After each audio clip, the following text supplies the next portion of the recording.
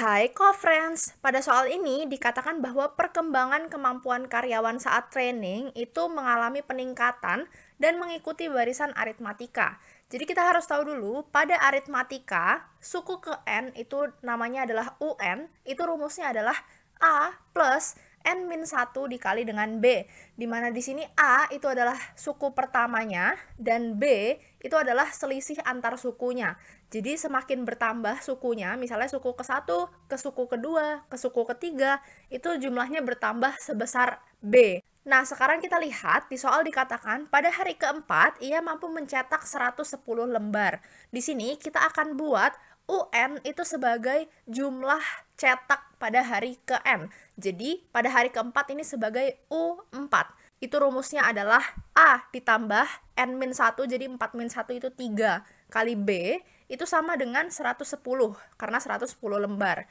Lalu yang kedua dikatakan bahwa pada hari ke-9 mampu mencetak 150 lembar. Maka hari ke-9 itu kan U9. Jadi rumusnya adalah A ditambah dengan N-1-nya, jadi 9-1 itu 8 dikali dengan B, itu sama dengan 150.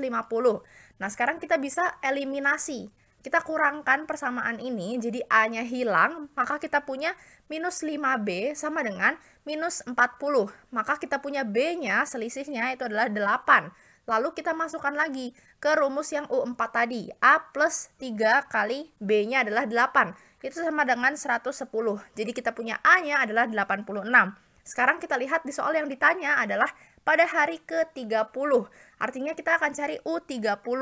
Jadi A-nya adalah 86 ditambah dengan N-1. Jadi 30 min 1 itu 29 dikali dengan B-nya itu adalah 8. Maka kita punya 318 lembar. Jadi pilihan yang benar adalah pilihan yang D. Sampai jumpa pada soal berikutnya.